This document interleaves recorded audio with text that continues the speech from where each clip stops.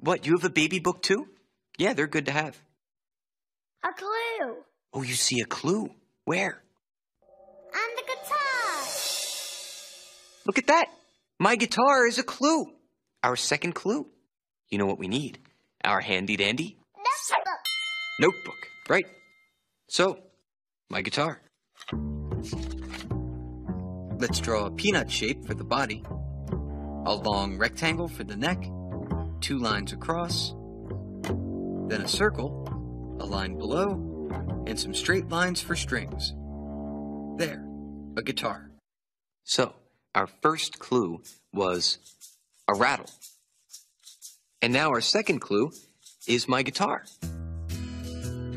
So, what does Blue think we should do to welcome the new baby with a rattle and my guitar? Do you know? Maybe. But I think we should find our last clue.